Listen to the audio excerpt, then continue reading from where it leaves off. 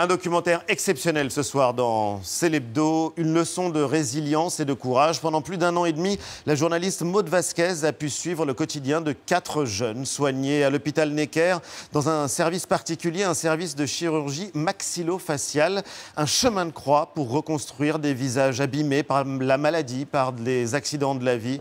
Bande annonce. Je me sens comme tout le monde, mais toi tu me regardes dans la rue, à l'école, partout. Peut-être est-ce juste de la curiosité Mais est-ce que tu sais ce que ça fait d'avoir un visage pas comme les autres? Opérer, remodeler, rafistoler. J'aimerais te raconter tout ce que j'endure pour avoir une apparence presque comme la tienne. Qu'un jour, tu n'auras plus peur de moi et que moi, je n'aurai plus peur de ton regard. Maud Vasquez et Thomas sont les invités de Célébdo.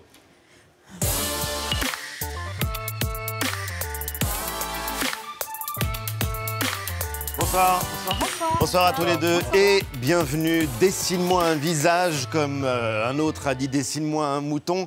Dessine-moi un visage, ce sera mardi prochain à 21h05 sur France 5. C'est un documentaire qu'on a vu qui nous a vraiment beaucoup touché, qui nous a amusé aussi à certains moments. Et c'est assez euh, paradoxal. Il y a le courage de Gabriel, de Ninon, de Clara. Votre euh, itinéraire aussi à vous, Thomas.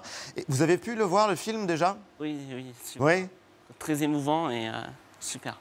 Et vraiment, c'est le mot qui convient en fait. C'est vrai qu'il est euh, super. Comment s'est passée votre rencontre à tous les deux? Bah, Super. Euh, C'était fait au feeling. On s'est rencontrés chez ma maman. Et bah, voilà, j'ai écouté un peu son projet parce que je voulais pas trop m'engager dans ce projet tout de suite. Et bah, j'ai trouvé que c'était un projet qui était très, très constructif et très émouvant, comme le montre le film. Et euh, voilà, ça s'est fait très rapidement. Et... Alors il faut dire justement en mode que vous, vous connaissez bien le sujet parce que euh, vous y avez passé beaucoup d'heures quand vous étiez euh, gamine, tout simplement parce que votre mère est l'une des chirurgiennes qui a créé justement ce service. Comme votre maison, vous dites en tout cas à force d'y avoir passé du temps, gamine, quels étaient vos rapports avec ces jeunes de votre âge qui avaient le visage abîmé à cause d'une maladie, à cause d'un accident? En fait, j'ai passé effectivement, euh, dès mon plus jeune âge, à partir de 4 ans, je dirais, euh, beaucoup de temps dans, les dans le service, euh, dans la salle d'attente, avec tous les médecins, les infirmières. Ils me connaissent tous encore aujourd'hui, c'est les mêmes. c'est les mêmes. et c'est vrai que j'avais à la fois cette peur de ces visages, de ces drôles de visages. Euh, j'avais peur qu'ils aient mal, j'avais peur euh, de ce qui pouvait, euh, de ce que ça dégageait. Et en même temps, très vite, j'ai eu un truc très bizarre de morale, un peu, de se dire. mais pourquoi j'ai peur? Est-ce que j'ai le droit d'avoir peur? Et pourquoi je ressens ça? Même enfant, vous avez surmonté ça? J'ai eu ça assez vite, mais je pense que le travail de ma mère sur la reconstruction, voilà, elle avec d'une manière invisible, elle a dû me passer quelque chose. Et surtout, je voyais les parents avoir quelque chose de très lourd à porter. Et en même temps, je voyais les enfants jouer comme tous les enfants dans la salle d'attente, en fait. Et, entre eux et avec moi. Et, du coup, tout ça, ça m'a beaucoup interpellée. C'est resté longtemps. C'est resté longtemps, mais qu'est-ce qui vous a motivé à faire ce film? En fait, c'est, euh, je trouve qu'il faudrait qu'on ait une éducation à la différence, en fait. Et euh, très tôt, dès l'école. Euh, là, moi, ce qui m'a étonnée, c'est avec ces enfants, c'est qu'ils m'ont raconté que même les adultes pouvaient avoir des regards méprisants, pouvaient les insulter. Et alors, autant je pouvais imaginer des enfants, et encore plus aujourd'hui, mais des adultes, ça m'a, j'ai été choquée. Hmm. Euh, et, notamment la maman de Gabriel, donc, qui est atteinte de ce névus et qui, petit, avait vraiment quasiment tout le corps entier, euh, enfin tout le visage rempli avec ses, ses, poils en plus parce que c'est velu. Elle me disait qu'il y avait la queue de famille devant la poussette pour voir le bébé. Et là, j'ai eu peur pour notre société je me suis dit, OK, on n'a pas évolué là-dessus par rapport à Elephant Man, par rapport à tout ce qu'on peut avoir dans, l'imaginaire. Ben ouais, parce qu'en fait, c'est un film sur nous. Ouais. C'est un film sur nous tous et c'est frappant d'ailleurs euh, de vous voir. Euh, Thomas, vous, vous l'avez vécu la difficulté d'être confronté au regard des autres, euh, oui, grands, petits Oui, exactement, de petits. Alors, ça peut être des enfants, comme je disais, ça peut être des adultes. La particularité avec des enfants, c'est qu'il y a même une étude qui le montre, c'est qu'ils font pas la différence euh, avec, euh, la différence. Si vous voulez jouer avec un enfant, il va vous traiter comme un autre enfant. Et il va vous jouer avec vous. Il ne va pas faire cette différence. Et les adultes, eux, vont même vouloir cacher les yeux de, de leur enfant pour ne pas voir ça, comme disait euh, Clara dans le, dans le reportage. Mais comment on fait pour ne pas se refermer sur soi? Bah, Moi, j'ai essayé de m'ouvrir plus, euh, plus au, monde, aux, gens qui m'entourent. Euh, voilà. Oui, à continuer à aller vers les autres. Je, pense que Thomas, ton papa, t'a beaucoup aidé à, que tu te vois normalement, c'est-à-dire à te dire, OK, les gens te voient comme un handicapé, mais toi, tu vas pas agir comme un handicapé. Tu vas, tu vas agir comme n'importe quel enfant. Donc, tu vas bosser, tu vas faire euh, du sport. Pas n'importe quel enfant, parce que franchement, il y a beaucoup d'enfants qui devraient avoir euh, votre énergie. C'est ce qui sidérait Eva en bah, regardant le film. Thomas, vous avez 21 ans, c'est ça hein, Vous êtes étudiant euh, à Brest. Vous êtes un très grand sportif, adepte du triathlon. On vous voit notamment aller à la piscine tous les matins. Donc là, on peut prendre tous une claque parce que nous, on n'arrive pas à vous suivre. Ah, mais c'est sûr. Vous êtes né avec le syndrome Franceschetti. Je ne sais pas si je le prononce bien, voilà, euh, qui a pour conséquence des malformations au visage et aux oreilles. Et vous avez subi donc plusieurs opérations euh, dès votre plus jeune âge. Quels souvenirs vous gardez de, ces séjours à l'hôpital? Est-ce que c'est des souvenirs d'angoisse, de peur, ou finalement vous étiez dans ce milieu médical et bon, Parfois, les enfants, on le voit dans le documentaire, ne perçoivent pas le côté anxiogène de la situation? C'est exactement ça, on ne perçoit pas euh, l'anxiété dans, dans, le milieu hospitalier. Moi, j'ai jamais eu la boule au ventre d'aller à l'hôpital. J'ai aimé cette ah peur. Euh, voilà, j'ai fait, euh, on est tellement bien entouré dans le monde hospitalier avec les infirmiers, euh, voilà, les, docteurs, ils nous rassurent et moi, c'est que c'est paradoxal, c'est pas évident ce que vous dites parce que L'hôpital, c'est à la fois un lieu où on protège, où on aide, où on soigne, mais c'est aussi un lieu où on se fait opérer. C'est des opérations qui peuvent être lourdes, extrêmement pénibles, et euh, c'est un espace où on a mal. Et pourtant, ça fonctionne comme un abri. Oui, là, je pense que la, douleur physique, pour le coup, en fait, ils ont un peu une double peine en permanence. Ils ont la douleur physique liée aux opérations ou à parfois des, des problèmes fonctionnels d'écoute, ou voilà. Mais ils ont aussi ce regard de l'autre. Et je pense qu'à l'hôpital, ils se sentent juste regarder avec amour, avec bienveillance. Euh, on, les regarde droit dans les yeux, on, le regard ne fuit pas. Et du coup, en fait, Clara, pourquoi elle se sent si bien quand elle arrive à l'hôpital avec ce sourire, et Thomas, c'est pareil, c'est qu'en fait, tout d'un coup, on les regarde comme, voilà, comme des, merveilleux enfants qu'ils sont. C'est tout. C'est très simple, en fait. ce qu'ils ne vivent pas du tout à l'extérieur. Et pardon, Thomas, à l'âge de 12 ans, vous avez décidé d'arrêter toutes les opérations?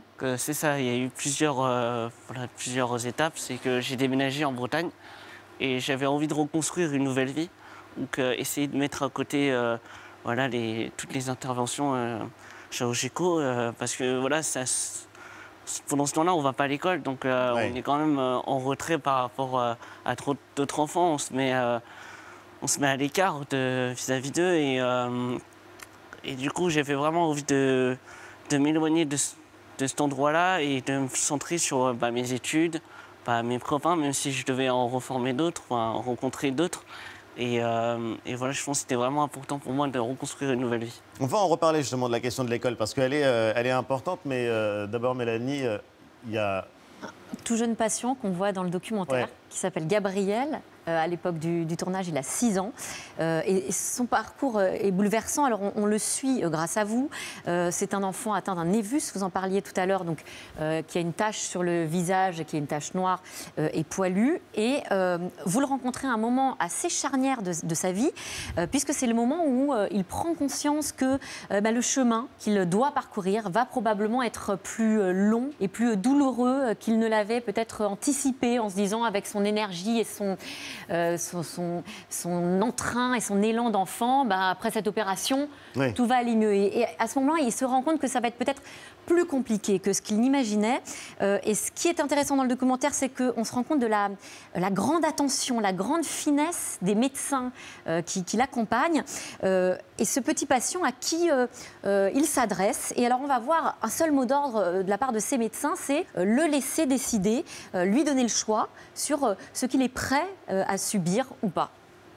Est-ce que tu en as déjà parlé à tes copains éventuellement d'un masque mhm. Non Tu penses que tu pourrais le porter à l'école ou pas mm, Je sais pas. Et Gabriel, tu sais, moi, il faut que je sache en fait toi ce que tu ce que ce qui te ce qui t'embête parce que moi ici je suis là pour te je suis là pour te faire plaisir qu'à toi en fait pas à ta maman, mais juste à toi. Donc en fait, c'est toi qui dois me dire ce, qui, ce que tu veux, ce que tu veux pas. Parce que déjà, c'est pour que toi, tu sois content. Et l'autre chose, c'est que c'est toi qui fais tout. Nous, on, nous, on t'aide, ta maman est ta compagne, elle t'aide. Mais c'est toi qui as le masque, qui a les opérations, qui a tout. Hein. Donc c'est toi qui décides, Gabriel. T'as bien compris ça. Hein. Maintenant, t'es grand, t'es en CP, tu comprends bien. Donc il faut que ce soit toi qui me dises ce que tu veux et ce que tu veux pas.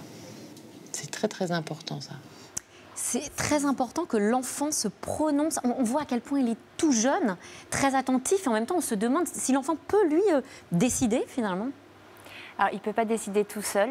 Euh, ce qui est compliqué à son âge, euh, c'est une histoire aussi de, de temporalité, c'est-à-dire qu'il n'a pas du tout la même notion du temps il ne sait pas euh, bien euh, quelle est l'urgence, c'est-à-dire combien de temps il aurait pour décider, parce qu'en fait, une opération, on doit faire un temps entre deux opérations, donc imaginons qu'il lui en reste. Et donc, déjà, c'est très compliqué, c'est-à-dire de, déjà de réussir à, planifier. Et appréhender, oui. Et appréhender. Ensuite, la deuxième chose, c'est qu'il vient tout juste de comprendre ça. Il vient tout juste. En fait, avant, c'était une gestion de la douleur, mais qui durait que quelques jours. Sur sa dernière opération de greffe, là, il a compris que c'était pas beau et il le ressent comme ça. Et donc, il veut plus sortir. C'était un enfant qui était hyper vers les autres. Et là, tout d'un coup, il s'est mis en retrait. D'ailleurs, c'est pour ça qu'il est assez mutique dans le film. C'est qu'il n'arrive plus à mettre de mots sur le visage. Il euh, faut accompagner l'enfant, il faut l'expliquer de manière pédagogique, mais il faut aussi accompagner les parents de manière très pédagogique, qui souvent ressortent des consultations en se regardant en disant on n'a pas tout compris, parce que c'est hyper violent quand même. Première fois que Karine va à l'hôpital, on lui dit bon Gabriel, il va avoir euh, euh, l'enfant de 6 ans qui a son névus, il va avoir une vingtaine d'opérations. Bon, bah, il faut déjà digérer, comprendre comment ça va se passer. Et là, les parents, ils ont un rôle essentiel à jouer. On voit d'ailleurs dans votre père, d'ailleurs dans le, dans le documentaire, euh, sa présence, elle est, euh, elle est indispensable. Il est, il est, toujours là et extrêmement présent à vos côtés. Exactement. les deux parents doivent être présents et doivent soutenir son enfant, c'est essentiel. il doit être là aussi dans les moments difficiles comme dans les bons moments voilà, quand on se fait harceler à l'école ou quand on est euh, voilà, quand on rentre de l'école et qu'on est triste, bah, voilà, il faut, faut aller vers son enfant et, voilà, le, le, rassurer. Et puis, il y a aussi un autre élément qu'il faut prendre en compte, c'est aussi le, le laisser euh, un peu plus autonome, un peu plus euh, vers dans la société. Parce que si les parents déjà bah, nous prennent trop, on nous couvrent trop, et bah, on n'est pas, on pas totalement inclus dans la société. Et, et bah, plus tard, euh, je veux dire, quand on grandit, bah, ça se sent tout de suite. Mais ça, on l'entend dans la bouche de plusieurs parents, d'ailleurs, dans le documentaire, qui disent, euh, oui, qu'il faut malgré tout laisser ses enfants euh, pouvoir être euh, peut-être pas forcément autonome, mais en tout cas euh, s'émanciper, pouvoir, euh, pouvoir vivre leur vie. Et l'école, c'est très étrange aussi comme espace, Antoine. Oui, c'est dur parfois hein, pour vous, Thomas, vous l'avez, vous l'avez vécu, pour les autres enfants que vous avez suivis et rencontrés. Maud, c'est ce qu'ils vous ont raconté. Clara, notamment, cette collégienne dont le visage a été brûlé au troisième degré alors qu'elle n'avait que quelques mois, c'était lors d'un accident. Une jeune fille moquée, harcelée à l'école donc, mais aussi particulièrement forte et courageuse. Je m'appelle Clara, j'ai 12 ans et je viens de rentrer en sixième.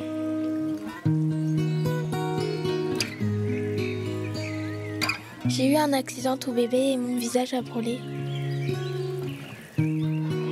Ça ne m'empêche pas d'être joyeuse, de jouer et de rire. Mais le problème, c'est les autres. Ils me fuient et se moque de moi.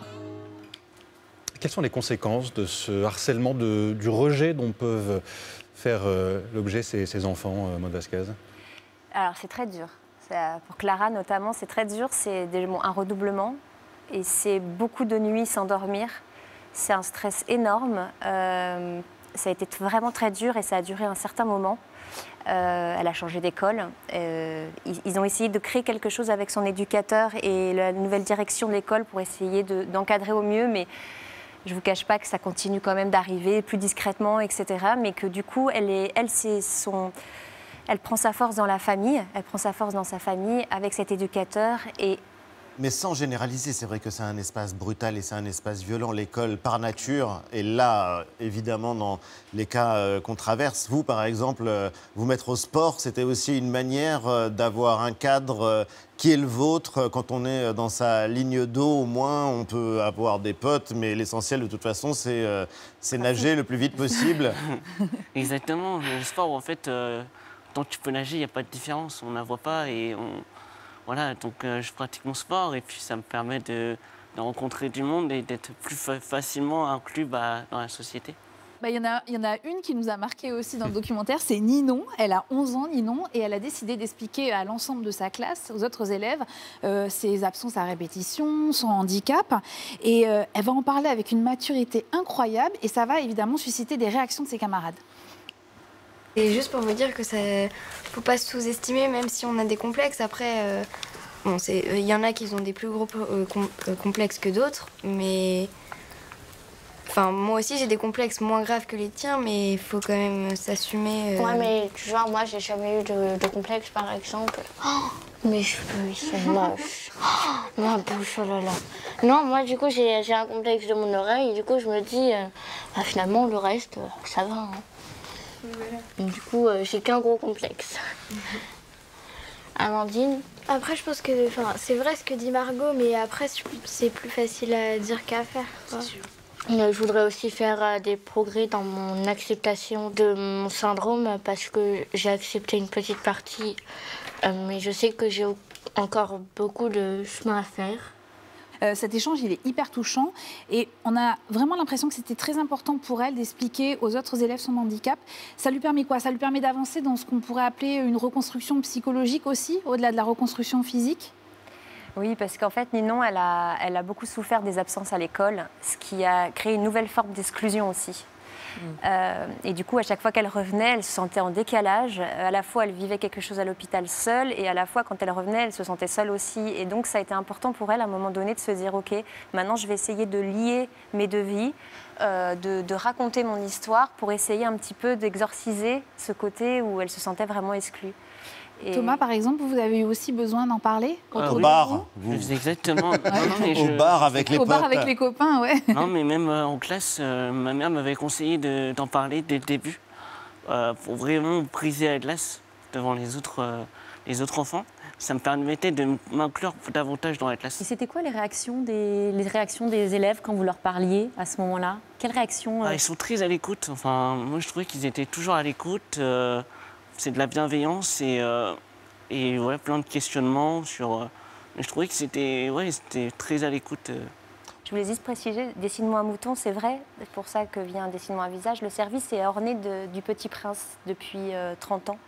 Les descendants de Saint-Exupéry avaient, dit pas de souci à, ma mère quand elle a créé le service parce qu'elle, elle considérait que c'était assez joli d'avoir ces traits très simples du Petit Prince, qui a un charme dingue, qui est, très mature, qui est philosophe, mais qui n'est qui est pas dans une esthétisation du visage. Et donc c'est pour ça qu'elle a orné les murs et qu'il y a beaucoup, beaucoup de petits princes là-bas.